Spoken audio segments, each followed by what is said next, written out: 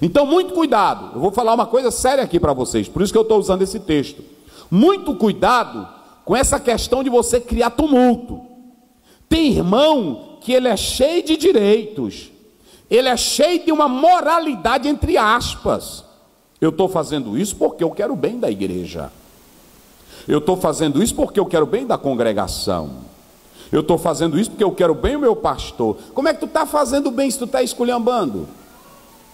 Como é que você está fazendo bem se está criando tumulto?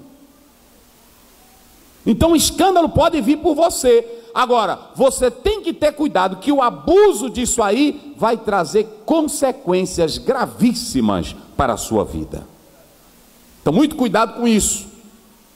Então, eu vou falar sobre isso hoje, para não tumultuar. Pode passar aí. E observem bem que o movimento pode se tratar de uma marcha com o objetivo de despertar ou chamar a atenção das autoridades. Mas quando esses movimentos se formam para interesses particulares, denegrir uma autoridade, criar rebelião, tumulto, o cristão não pode fazer parte dos mesmos. O apóstolo São Paulo diz em 1 Coríntios 11, 17: Nisto eu não vos louvo, porque vocês se ajuntam para o pior. Tem ajuntamento que é para o bem e tem ajuntamento que é para o nome do diabo. Tem ajuntamento que glorifica a Deus, mas tem ajuntamento que escandaliza o Evangelho de Jesus Cristo. Eu vou fazer uma pergunta aqui aos irmãos.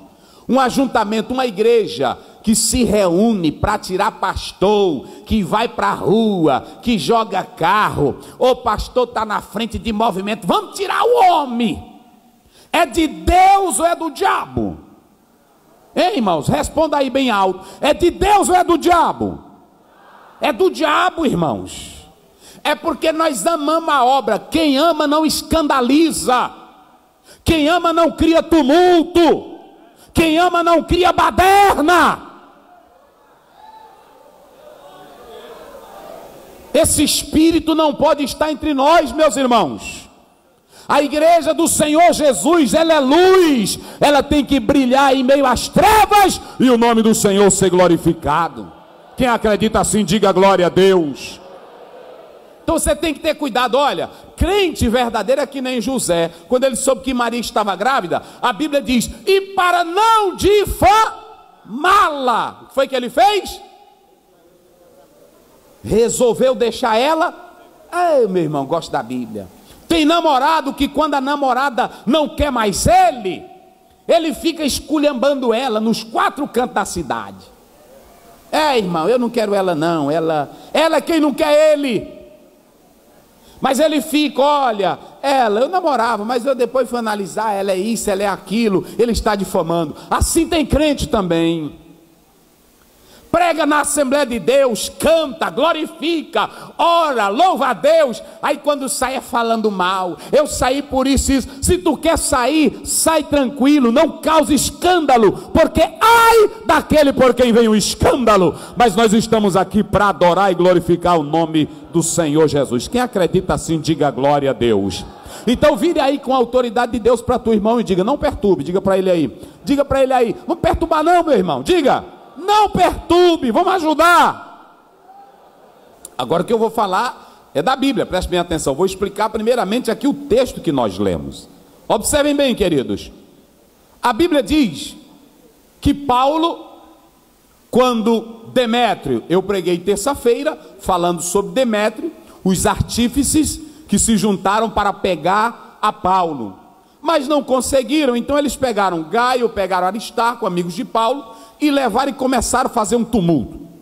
Eles já estavam se direcionando para o ginásio, que comportava 20 a 25 mil pessoas, e o tumulto na cidade estava grande. Todo mundo atrás de alguém para condenar. Agora olhe para cá, preste bem atenção. Olhe bem para cá. Quando de repente o Paulo sabe, toma ciência que aqueles irmãos foram levados e o Paulo, queridos, ele quer ir. Paulo era um homem destemido. Paulo era um homem que fazia tudo pelo Evangelho. Quando ele toma ciência do grande tumulto, ele quer ir lá para o meio tentar resolver a situação. Deixa eu dizer uma coisa para vocês aqui hoje. Olha bem para mim aqui, todos vocês. Se os senhores pensarem que Paulo era um homem de Deus, vocês sabem que ele era. Só que aqui Paulo age como uma criança. Paulo aqui age como um menino. Seria a maior tolice que Paulo ia fazer. A Bíblia é tão linda, irmão. Ela mostra Paulo cheio de Deus, cheio do poder do Espírito Santo, mas ela mostra aqui um Paulo menino. E por que, que ela mostra? Porque ela quer mostrar para nós que nós não somos perfeitos. Paulo era de oração, Paulo tinha visão, mas aqui, Paulo, ele quer ir para um lugar aonde ele não teria voz. É por isso, irmão, que o crente tem que orar todo dia e toda hora e pedir sabedoria de Deus.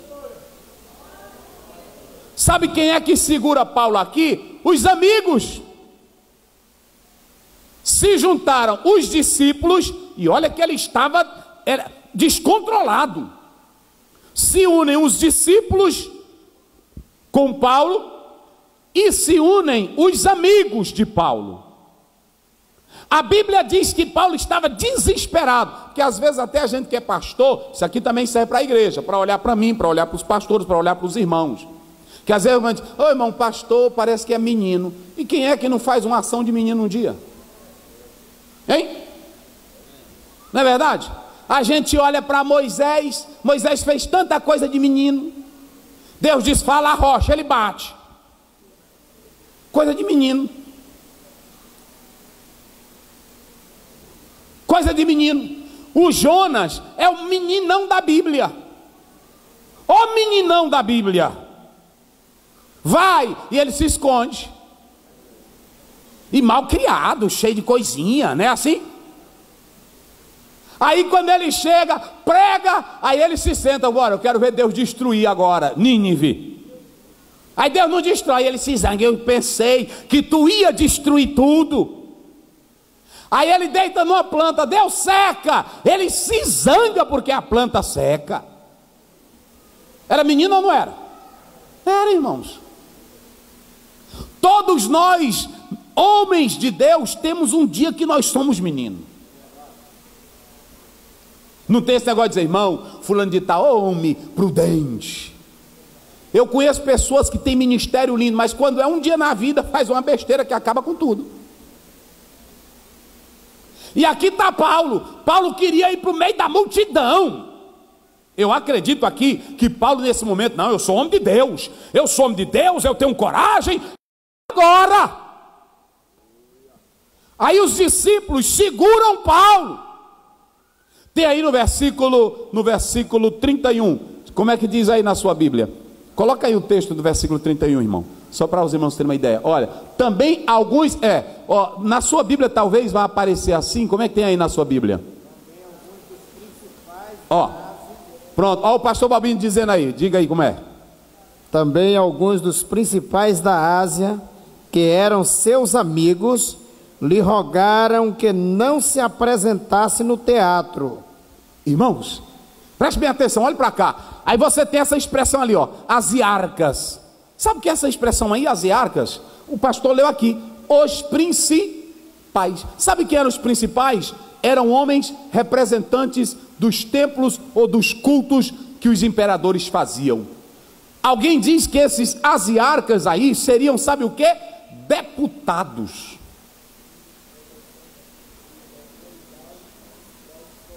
Autoridade das províncias. Eles eram as autoridades dos, dos imperadores. Mas o Paulo, irmão, ele se tornou um homem tão sincero que todo mundo, olha, tinha uns que não gostavam, mas ali na Ásia, os principais, os deputados, os deputados, os homens que tomavam de conta da questão política e religiosa, eram o que de Paulo? Era o que de Paulo? Amigos. A igreja deve, olhe para cá, irmãos, ela deve ficar feliz, preste bem atenção. Não é quando o pastor dela anda atrás dessas coisas, mas é quando uma autoridade olha e diz: Eu admiro o pastor Fulano de Tal. É ou não é, irmãos? Eu, é um testemunho. Olha, o pastor de vocês, irmãos, é crente. Olha, o pastor de vocês é sincero. O pastor, quando uma área, alguém lá, um comerciante, e esse Paulo aqui, olha, irmãos, as autoridades pediram também para Paulo não ir lá. Tanto os discípulos como as autoridades, que a Bíblia não chama aqui de autoridades, a Bíblia chama de amigos. Amigos. Então, para segurar Paulo, não foi fácil. Então perceba que o tumulto era grande. Mas aqui você vê que Paulo, ele tem amigos. E eu vou falar isso daqui a pouco, mas a coisa melhor que pode existir para um homem de Deus é ele ter amigos. Para um homem de Deus, para uma mulher de Deus, é ter amigos sinceros. Agora preste bem atenção, vira para o teu irmão e diga para ele aí: amigo, que não queira te matar, nem acabar com a tua fama, mas proteger a tua vida. Aleluia, quem glorifica o nome do Senhor Jesus. Eita, meus irmãos, que tem amigo crente aí, que é pior do que o Satanás.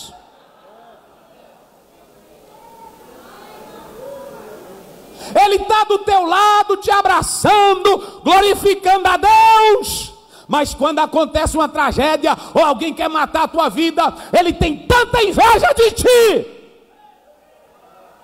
que ele nunca diz assim: não, eu vou estar tá lá, não toque nele não. Quando eles souberam, ele já conhecia o Paulo. E eu fico pensando como é que esses homens sabiam que Paulo estava desse jeito, porque não tinha um WhatsApp né? não tinha um WhatsApp, não tinha, não tinha celular, porque hoje tem um WhatsApp, olha, corra que acular, agora e o fulano quer matar o outro, não é assim? Agora não tinha WhatsApp, mas a Bíblia diz que todos ficaram sabendo. Mas o tumulto na cidade foi grande, mas tinha boca, boca, boca. A palavra WhatsApp aí no inglês é e aí, pronto. Aí todo mundo gosta. E aí, como é que tá o negócio, né? É a fulho, o fuxico, como é que tá o fuxico, como é que tá o papo aí, como é que tá. E todo mundo gosta de fuxico, irmão. Isso não é da agora não. É desde o início da, da humanidade. Não é? E aí, como é que tá aí? E aí, como é que tá as coisas aí? Pronto. O irmão que gosta de fuxico, olha para cá, ele gosta de fuxico. Aí ele, ele entra na igreja, né? Pode um irmão, pode Senhor. Aí quando ele vê que o irmão não vai falar nada, e aí? Não é assim? O que, que tu está ouvindo aí? Ô fuxiqueiro, irmão, tem gente que gosta disso. Olha, tem irmão que gosta tanto de fuxico que ele, quando olha para o irmão, que ele vê o irmão com a cara ruim, ele está na reunião, ele viu que o irmão ficou com a cara ruim, aí ele sai atrás daquele que ele notou com a cara ruim. Aí ele vai descendo na escada, né? Aí bate mão, bate Senhor, meu querido. Você está assim meio triste? É ou não é, irmãos? É, é ou não é? Está assim meio triste que, que aconteceu, irmão? Ele disse, é, irmão, estou insatisfeito. Eu notei, irmão. Olha, eu vi que, na hora que o pastor Zé disse, eu vi você torcer assim a cara, não foi? Ele disse, é, irmão, isso é demais. Eu disse, irmão, também não estou de acordo, não. Aí pronto, boi roceiro conhece outro, aí o fuxico começa. Às vezes você tem um amigo que ele é tão amigo seu porque ele quer ganhar fama com você. Ele está contigo, vem almoçar junto, mas ele tem ódio por dentro, porque ele queria o que tu tem. Aí na hora que ele vê uma chance de te matar, ele diz: Eu não vou fazer nada, não, vou deixar matar. Esses aqui não. Na hora que souberam que Paulo queria se acabar, eles disseram: Segura esse homem aí, porque ele é homem de Deus e ainda tem muito para fazer na terra. Quem glorifica o nome do Senhor Jesus, seja amigo de verdade. Seja amigo sincero.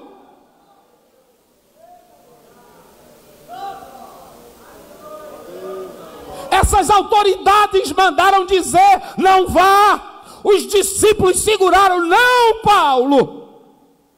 E por que, que eu disse que era criancice de Paulo? Olhe para cá. Quando começou um movimentão tremendo, aí todo mundo se ajuntando, a Bíblia diz que eles não sabiam por que que estavam. Uns diziam uma coisa e outros diziam. E a Bíblia diz que ninguém sabia por que que estava, a maioria não sabia por que que estava lá. Olha para cá, irmão. Você já observou que Lucas, Lucas faz questão de dizer que a maioria não sabia no verso 32 não sabiam por que se tinham se ajuntado. Nós estamos falando de que povo, irmãos? Quem era esse povo que estava junto ali? Me diga aqui. Quem era? Os gregos. Pastor Josué diz aqui: os gregos. Quem eram os gregos? Só homens e mulheres intelectuais. Foi de onde veio a democracia. Foi de onde veio a cultura filosófica. Mas o doutor Lucas diz assim: aqui ele está de modo, irmão, sarcástico, ele está dizendo: como é que um povo tão culto cai numa bobagem dessa?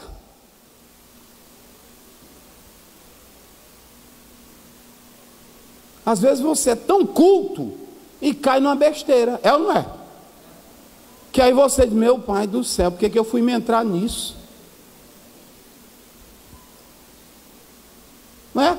Rapaz, eu, sinceramente, irmão, eu, eu não, eu, agora eu, eu, sinceramente,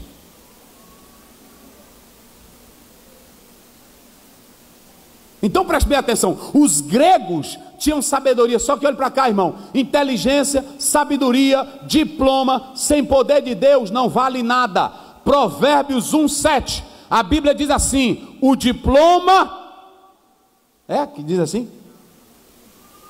Quem tem o diploma é o princípio da sabedoria, é? O que é que diz lá? O temor do é o que? Sabedoria só presta se em primeiro lugar tiver temor de Deus. Se não tiver, é só conversa. Eu conheço tem irmão que diz, pastor, a igreja aqui, ela é, é da, da elite. Ou elite ruim? A elite é para tirar pastor, a elite é para estar tá atrapalhando a obra, a elite, aí tem um bocado. Eu já vi irmão dizendo: olha, irmão, lá a igreja tem uma, um grupo lá, uma turma lá, que é a turma polida. Só gente ruim. Irmão, sabedoria sem temor de Deus não vale nada. Agora eu vou te dizer uma coisa: tu pode ter diploma de Cambridge, de Harvard, tu pode ter diploma da USP, mas se tiver temor de Deus, está carregando carrinho de massa para fazer mutirão. Se tiver temor de Deus, senta no banco para ouvir o pastor pregar a palavra do Senhor, porque você tem temor de Deus. Quem tem temor de Deus aí, levante a mão e diga glória a Deus. Irmão, tem um bocado aí que só tem inteligência para fazer o mal. Tiago, no capítulo 3, ele diz: sabedoria diabólica. É ou não é? Sabedoria diabólica. Então, o povo da Grécia era um povo culto, mas aqui caíram nessa artimanha. Agora, olhe para cá. Aí, um judeu, olhe para cá, um judeu não querendo porque quando ele viu o tumultão do povo, aí ele querendo se amostrar, esse Alexandre, ele é colocado como representante do povo judeu, porque eles vão dizer lá: olha, nós também somos judeus. Vai que esse povo se levante contra nós. Então, vamos escolher aqui um judeu e vamos mandar eles nos representar lá, dizer que nós não somos de Paulo e nem fazemos parte do grupo de Paulo. Aí ele chegou no meio da reunião, intelectual, culto. Eu quero falar, gente. No meio da multidão, quase 25 mil pessoas. Gente, eu quero falar. Aí o povo olhando para ele, quem é esse daí?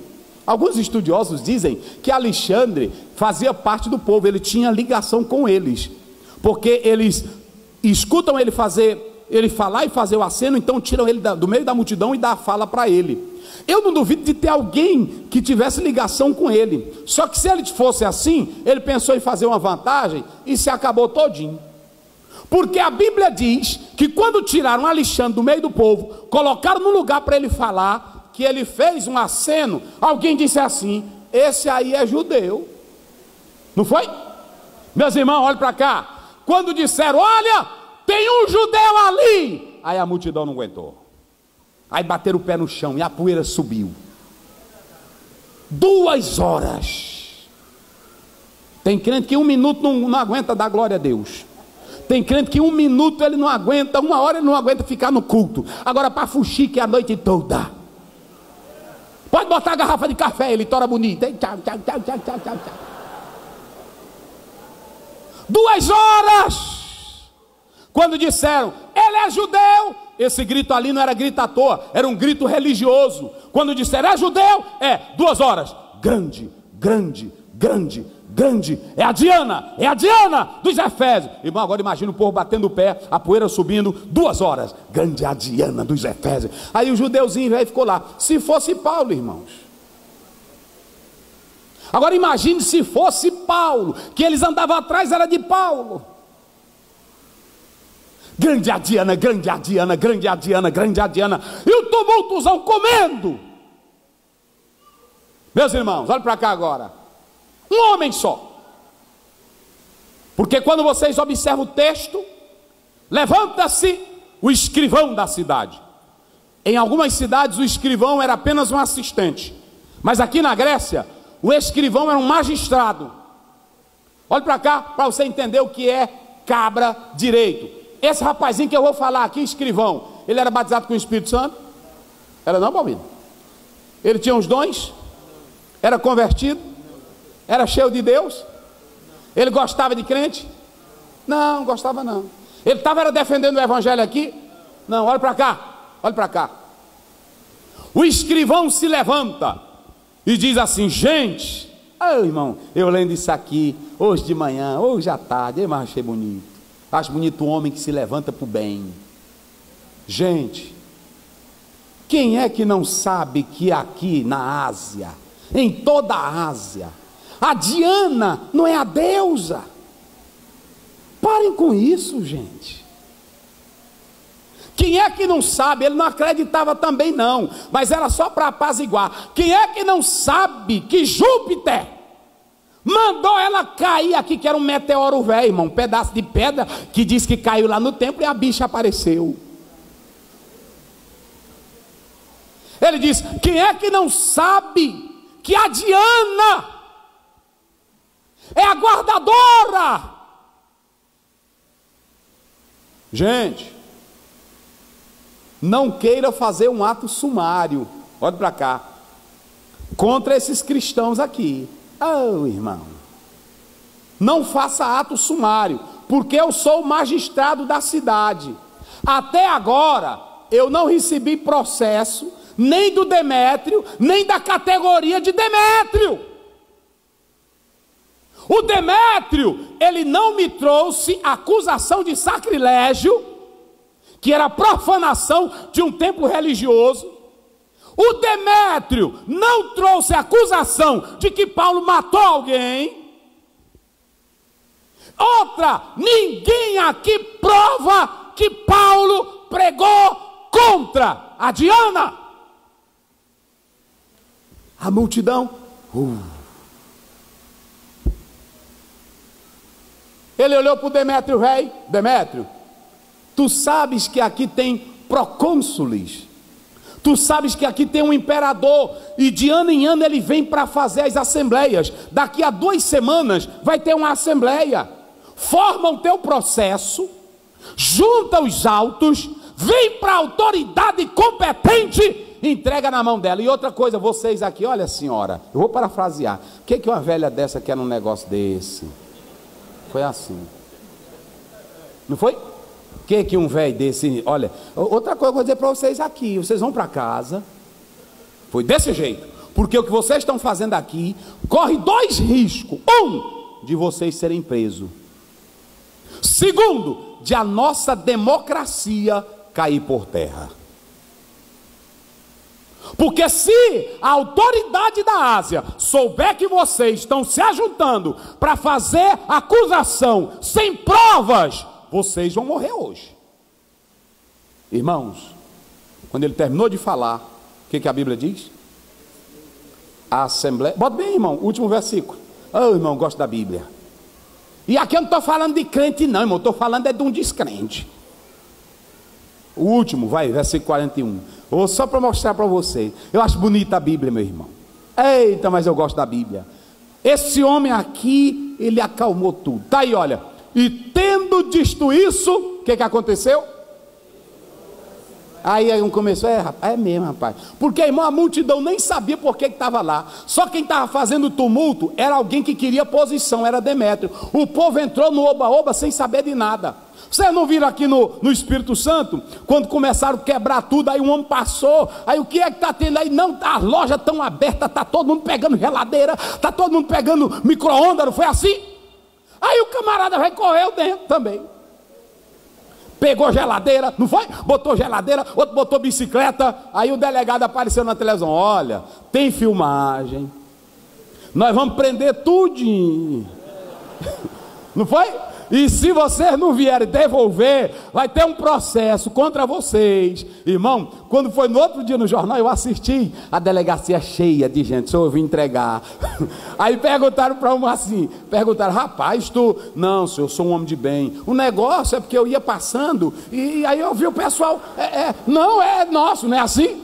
É desse jeito. Aí ele disse, aí eu entrei também. Tem crente assim, irmão. Que é, irmão? Isso aí. Não é o povo. Olha, eu quando vejo um monte de gente ali, eu fico aqui primeiro distante. Que às vezes tu vai entrar e cai para tu, não é assim? Não é desse jeito? Cai para tu. Então não entra assim não. Um dia eu cheguei numa feira, aí eu eu aqui numa feira, que eu fazia feira, aí eu olhando aqui, aí tinha um homem. Olha, eu quero dizer que se você casar e subir aqui, casar bem aqui, você ganha tanto. E aí eu olhando aquilo ali, eu encostei.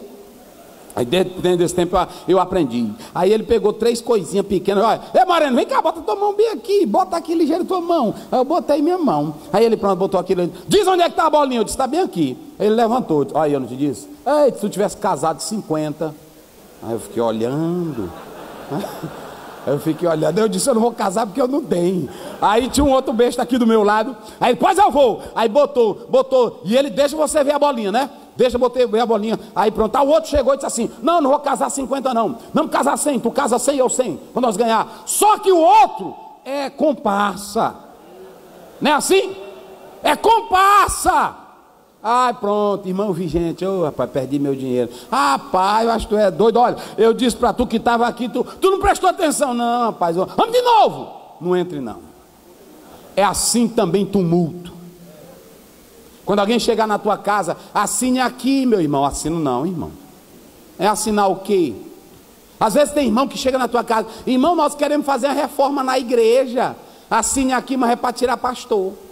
Assine não. Não, irmão, eu vou saber do pastor o que é isso aí primeiro. Porque às vezes tu vai entrar num tumulto sem você saber. Eu vou dizer uma coisa para os senhores aqui, irmãos. Pastores e auxiliares. Homem de Deus não cria tumulto. Homem de Deus não joga lenha na brasa. Homem de Deus coloca água. Quem acredita assim, diga glória a Deus. Homem de Deus procura apaziguar as coisas. E eu vou falar aqui, coloca lá, três coisas para você não criar tumulto. Bote lá. Para vocês entenderem o que, que a Bíblia quer dizer para nós. Primeiro, nunca haja pautado no emocional. Diga comigo, nunca. Não, bem forte, nunca haja no emocional. Não, eu vou te dar um conselho hoje. Às vezes alguém te dá uma esculhambação na hora, de improviso, tu está ali, tu não está aguardando, a pessoa chega para ti e aí vai para cima. Nunca reaja. Porque vai, você vai dizer coisa que depois você vai pedir perdão. O melhor é você aguardar. Deixa te queimar, deixa falar. Aí pronto, aí quando for no outro dia, tu pega ela direitinha. Você está bem calmo, está light. Agora, nunca é bom agir no emocional. Porque se tu agir no emocional, são dois zangados e dois bicudos se cheiram, não dá certo. Não é assim? Briga, pronto. Aí é, tu pode ficar, faz de conta que tu está aqui, é, tu pode até se zangar, tu, aí tu vai para casa. Aí tu fica a, o dia todinho, à noite, meu pai do céu. Aí tu vai botando cada palavrinha, irmão, eu podia não ter dito aquilo e tal. Mas amanhã eu vou dizer para ele, irmão, pá, pá, pá, pá. Aí quando tu chega lá, irmão, olha onde você partiu para mim, dizendo isso, isso. Mas eu fui analisar, irmão. Tu disse isso isso comigo, olha, mas não é assim. Fica com vergonha ou não fica? Fica. O maior problema nosso hoje é que na hora que alguém diz uma coisa, até na igreja, às vezes tem irmão, um irmão se levanta contra um pastor na igreja, ou contra um dirigente, ou num culto, aí ele diz, é porque essa igreja não presta. Não é, irmão? Aí o irmão fica, é, como assim? É, irmão. Aí isso é mesmo.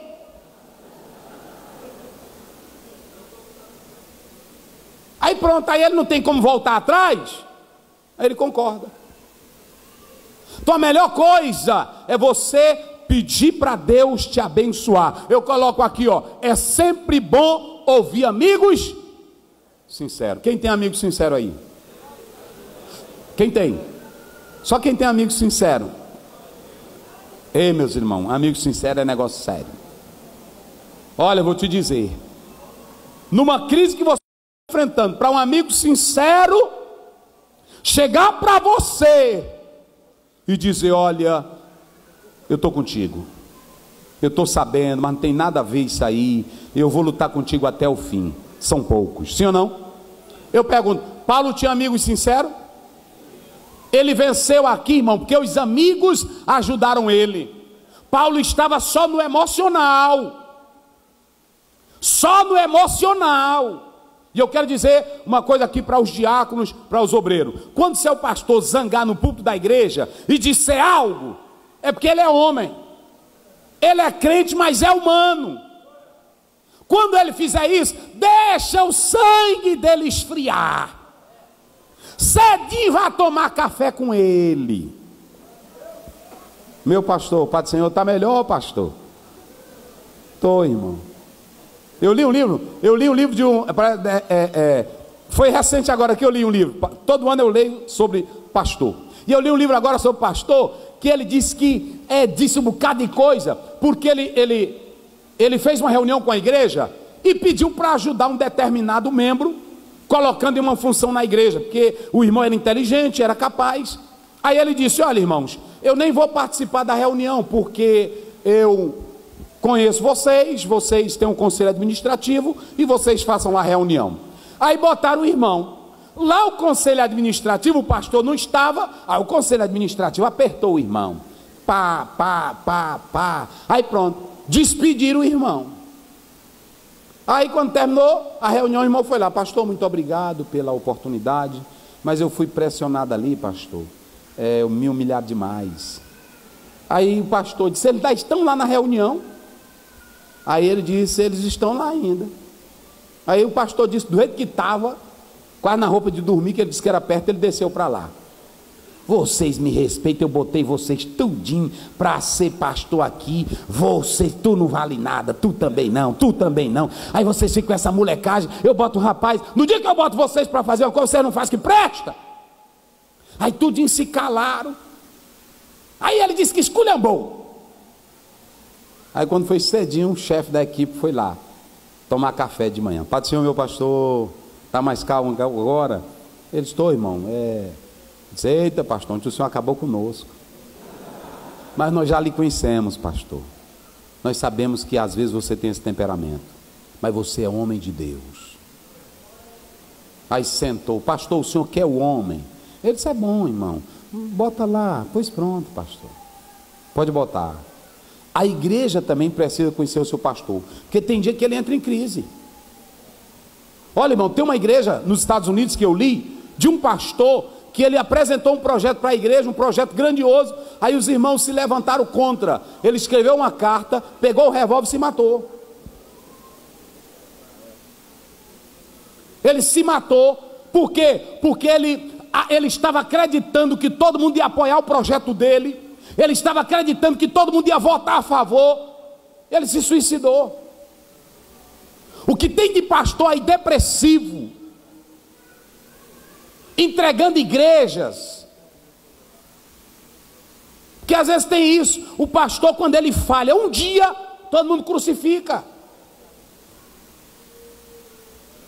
E é aqui que eu quero dizer a necessidade de amigos. Amigos que chegam para você, não é deixar a coisa sair. Seguro bem aqui, pastor, eu estou seguro no seu ombro. Eu estou segurando na sua mão. Conte comigo. Conte comigo. Nós vamos entrar na briga, nem que nós dois vamos, vamos sair morto dela aí, mas nós vamos, é, é, nem que saia baleado. Mas eu estou do seu lado para lhe apoiar em nome de Jesus. Eu vou dizer uma coisa para vocês que Deus está mandando eu dizer: o que tem hoje de falsidade de amigos no meio dos crentes, não são poucos. Ah, eu não confio no fulano, eu não confio na fulana. Bota ela no cargo, amanhã ela já quer ser mais do que a outra. Aí a irmã falha, falha no hino, falha na regência. Ah, irmão, irmão, é bom nós tirar a irmã. A irmã que não sabe reger. Ela que confiava tanto em ti.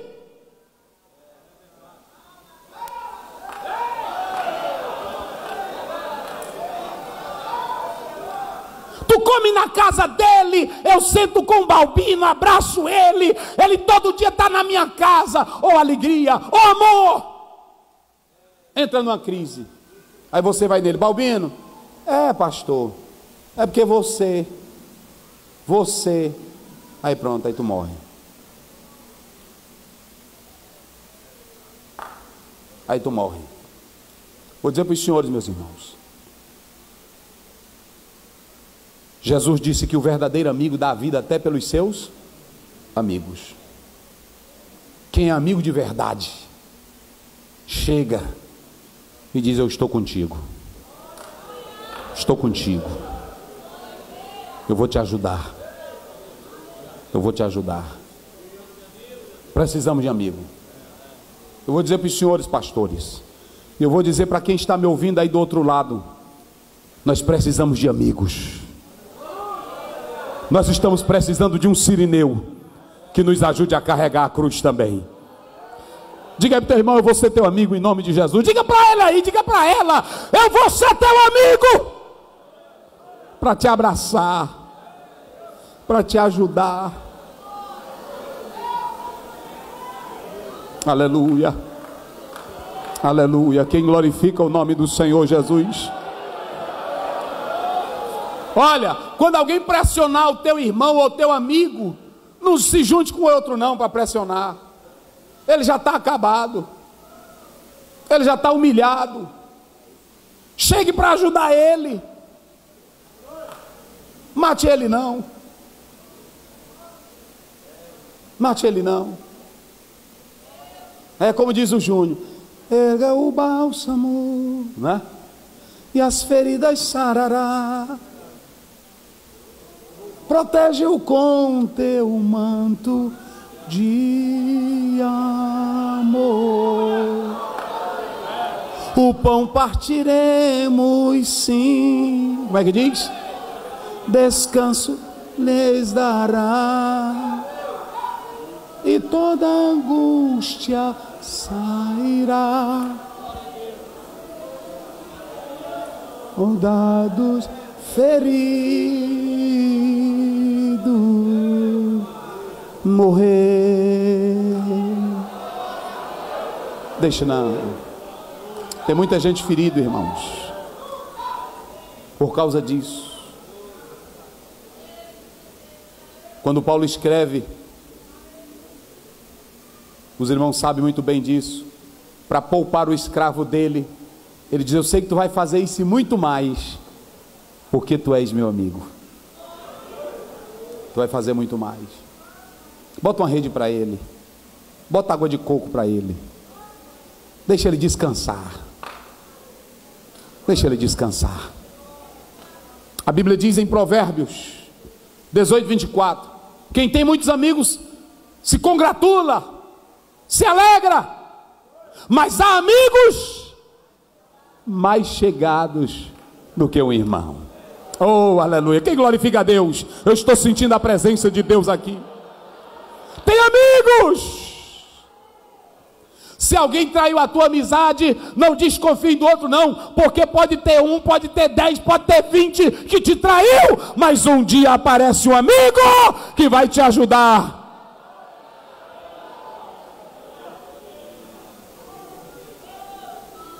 Que vai te ajudar.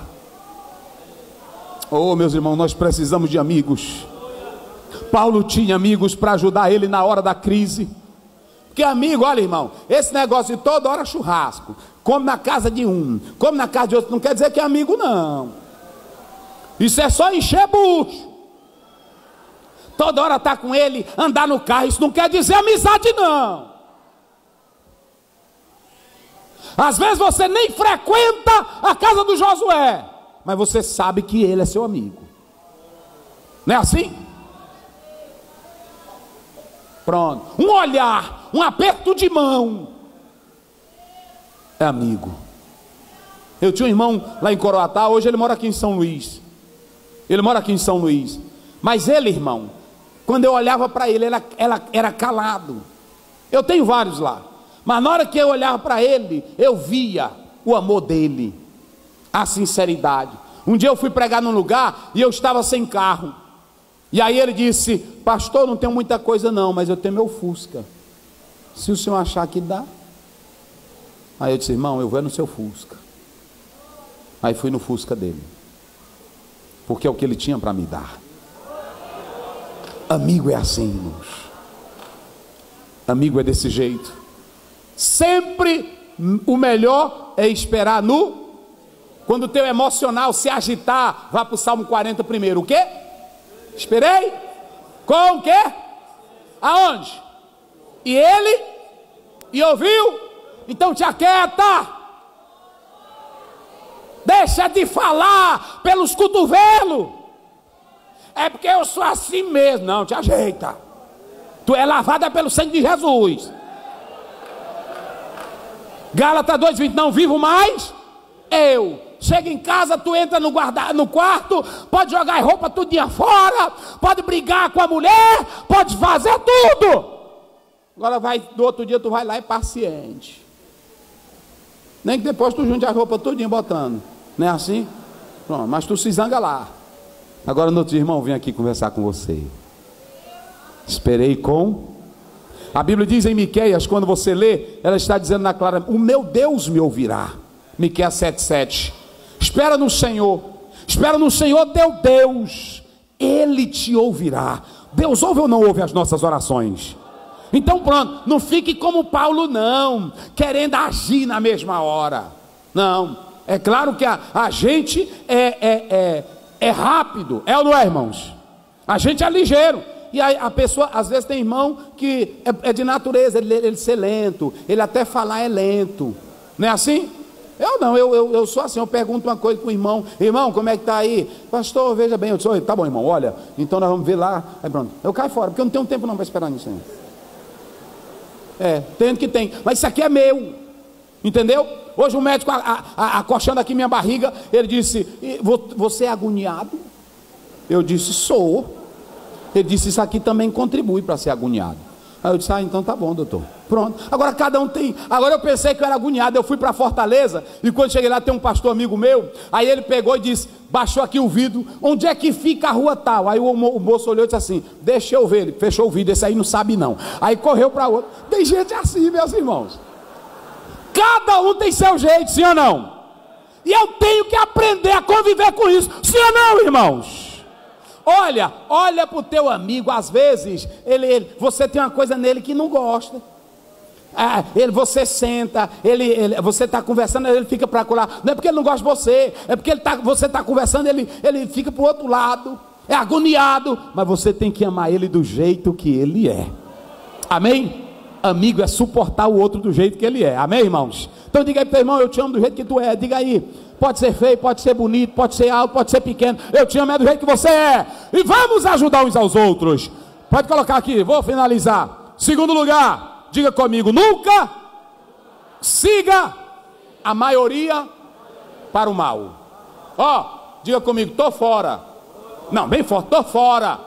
Se é para fazer mal, se é para baderna, eu tô fora. eu estou fora. Você tem que entender que a multidão lá nem sabia por que, que estava ali. E eu vou dizer uma coisa, olha para cá, irmão, já vou encerrar. Deixa eu dizer uma coisa para vocês. Hoje tem crente que entra em movimento, ele nem sabe o que é. Então nós temos que ser um povo sensato e observar isso. Tem várias referências aí. Vocês sabem que o povo que matou Jesus nem sabia o que estava pedindo. Nós judeus, Mateus 27, 25, eles disseram assim: o sangue dele caia. Até hoje os judeus sofrem ou não sofrem? Por causa disso, não é isso? Você fica com o negócio, não, irmão, pois eu não estou nem aí, eu vou entrar nisso mesmo. Entre não.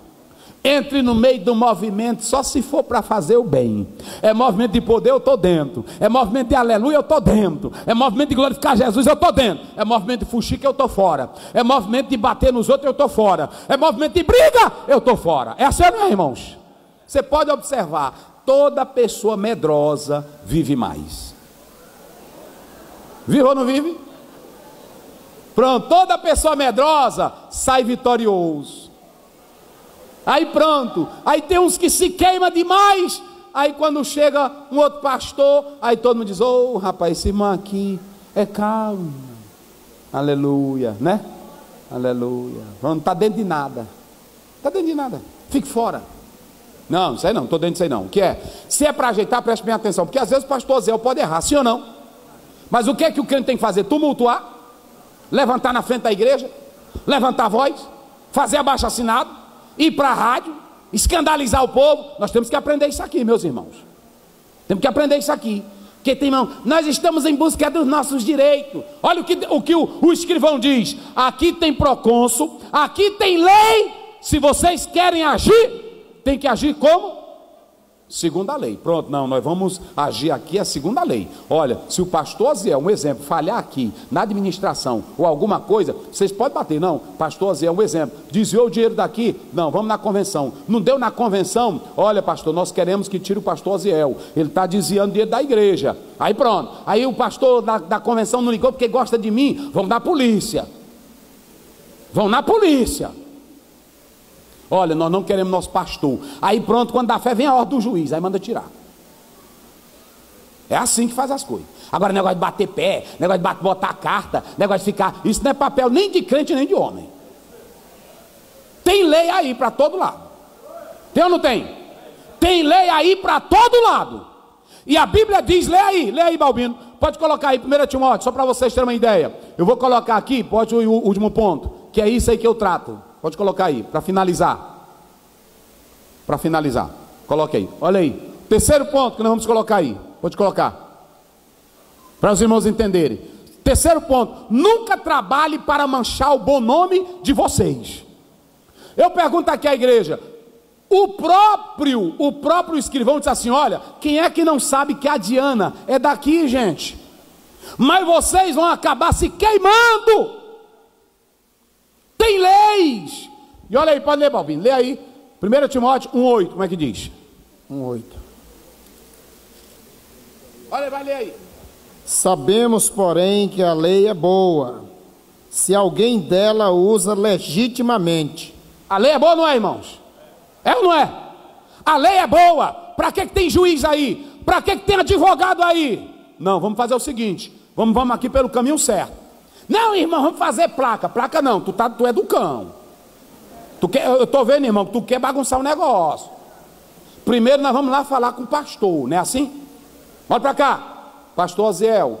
Nós analisando, tá o irmão ali do Conselho Fiscal. É só um exemplo, que eu não pego isso nunca. Pastor Aziel, o Conselho Fiscal analisou que o senhor desviou aqui 10 mil reais. Para que é, pastor? Porque não está nem para construção, nem para templo, nem para o social. Para que é, pastor? Aí vocês escutam, vão escutar. É, irmão, é porque é o seguinte, eu tirei por isso, isso, isso. É, né, pastor? Tem os documentos, pastor? Não, não sei o que. Pastor, pois nós vamos lhe dar dez dias para o senhor trazer esse documento. Dez dias eu não trouxe documento. Pastor, chame de novo, pastor. Só equipe, não bota em mão de menino, não. Porque tem irmão que na hora que sai um negócio desse, ele conta para menino, conta para todo mundo, só para criar tumulto.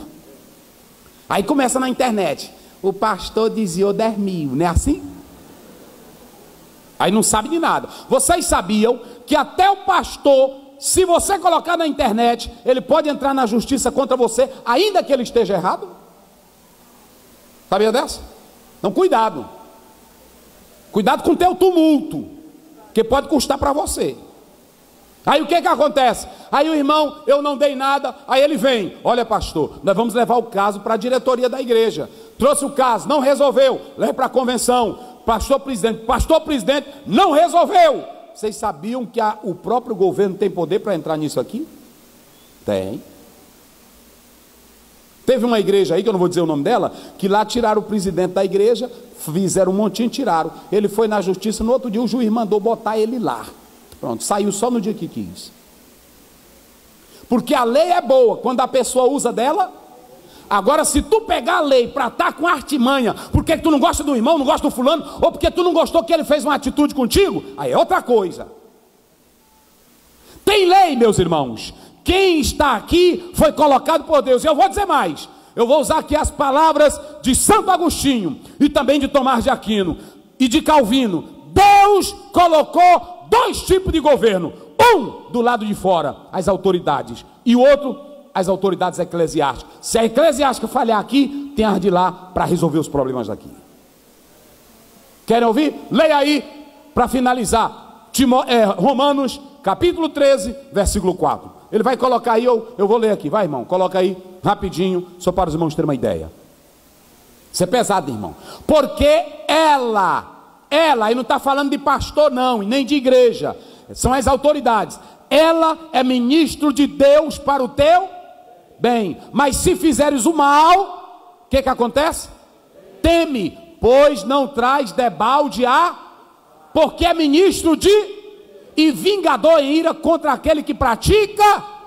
Então pronto, meus irmãos. Porque tem irmão que diz assim: eu não levo para o tribunal lá fora, porque Deus disse que é para resolver aqui. É para resolver as questões crentes, meus irmãos. Quem está usando da lei legitimamente tem que levar para lá. Entendeu? Quando o ladrão entra na tua casa, tu chama o Espírito Santo, tu chama a polícia. É assim, é desse jeito. Porque tem irmão que tem esses negócios. Não, não vou levar, não. Pois eu levo. Eu levo na hora, pronto.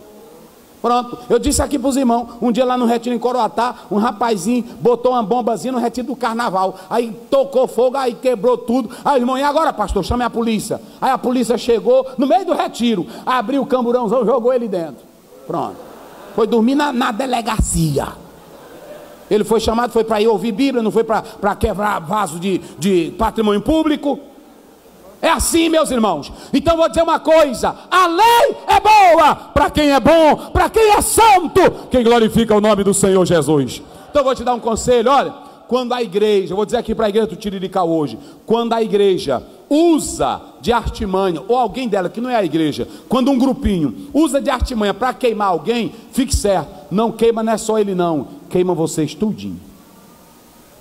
Eu conheço igreja aí que as pessoas dizem assim: não vou ser crente naquela igreja, que lá é de baderna, lá é de confusão, lá é de revolta. É assim ou não é, irmãos? Aí vai enfraquecendo, enfraquecendo. Tem delas aí vazias, vazias, vazias. Então, façamos isto, nós não vamos tumultuar nada, nós vamos pegar na mão do outro e vamos levar avante a obra do Senhor Jesus. Fique de pé em nome do Senhor. Cadê a igreja que glorifica a Deus? Hoje a mensagem é meio pesada porque é, é, é, é, é o que está é, acontecendo hoje, mas é só tumulto. Tumulto. Às vezes tem meninozinho que não sabe nada. Eu vejo velhinha na convenção, quando é para negócio de pastor, ela pulando. Tira, tira, tira. Uma velha daquela não sabe de nada, irmão. Não sabe nem o que é para tirar. Tirar o quê? Pergunta para ela o que é, irmão. Para tirar, não sei. Eu sei que é para tirar. Tira, não sabe de nada sabe de nada. Vai fazer teu arroz, cozinhar teu peru, teu. Não é assim, é desse jeito. É. A pessoa tem que ver, eu fico pensando, é um marido, velho, tia quieto, olha, deixa dessa molecada. Se tu entrar nisso aqui, eu não te quero mais, não. Pode cair fora. Procura estar com mulher nisso. Pronto. Eu já vi meninos desse tamanho, irmão. E eles ainda fazem drama. Olha, até as crianças. Criança sabe de nada, meu irmão. As coisas têm que ser com os homens da lei. É assim, eu vou dizer uma coisa para a igreja aqui hoje. Daqui para frente é Espírito Santo para quem quer Espírito Santo. As igrejas vai ser assim, mas daqui para frente também, no Brasil já está assim, irmão. É lei para quem não quer obedecer direito. É lei, eu vou dizer isso, está desse jeito. Então tem que levar as coisas a sério para Deus nos abençoar, amém?